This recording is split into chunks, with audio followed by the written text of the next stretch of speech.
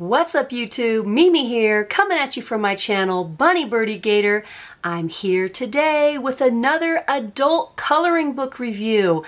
Guess what you guys? I have a full week of coloring book reviews and some assorted other videos coming your way. I have something fresh for you every day for the next seven days. So I hope you'll check out my channel and definitely tune in if you're an adult coloring book fan.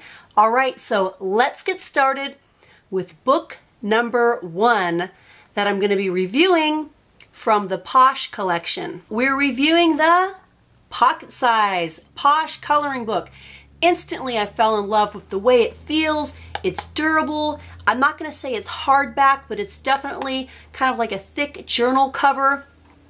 Um, as far as the thickness is concerned, has a little page saver or a little elastic here. This is just like, I really love this. Pretty designs for fun and relaxation. So you open it up and it's orange. Very nice quality. This feels like it would be very sturdy in your um, backpack or your purse or office bag. It's really nice. So let's go ahead and review some pages together. So here's how it starts.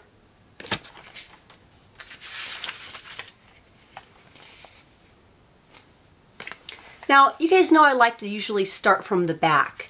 However, when books are a little bit harder, um, it seems easier for me to start at the front. I don't feel the need to flip from the back. So if I'm reviewing books that have more of a harder cover, I'll start from the front.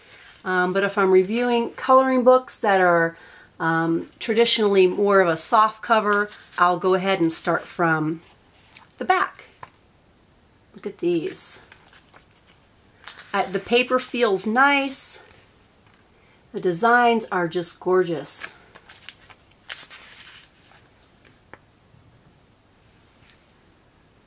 Look at that. Mmm, I like that.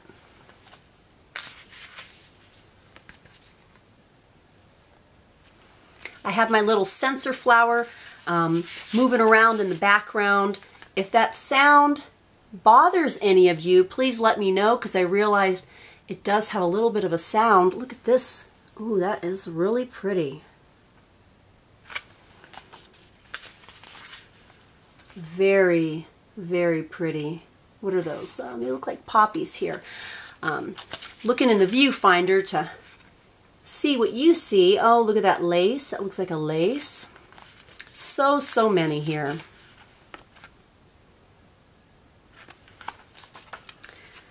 Let me take a look and see if it says how many designs are in this one. I'm not seeing how many pages there are. Let's go ahead and look at a few more.